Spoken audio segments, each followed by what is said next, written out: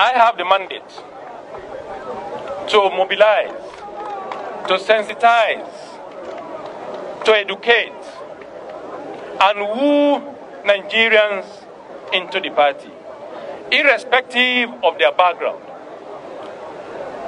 Uh, our brother and friend, Chief Femi Fani Kayode, has joined our party in good faith. For the youth. He is joining our party to come and add his own positive energy and make contribution into ensuring that APC is a party to beat. Remember, Chief Femi Fani Kayode is a foundation member, was a foundation member of this great party.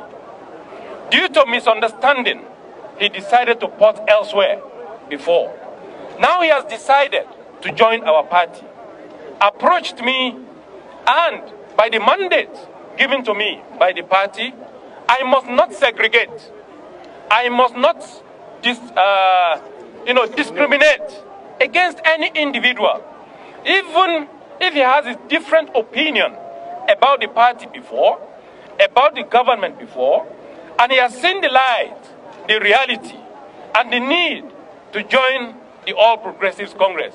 It is just nice. It is just important. It is just smooth and very, very sweet to accommodate and welcome Chief Femi Fani Kayode to come and join this party. Remember that this party does not belong to one individual. It belongs to all Nigerians.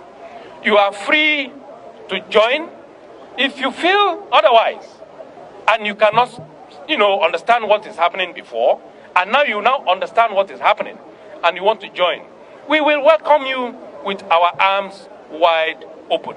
So, Chief Femi Fani Kayode, you are welcome to our party.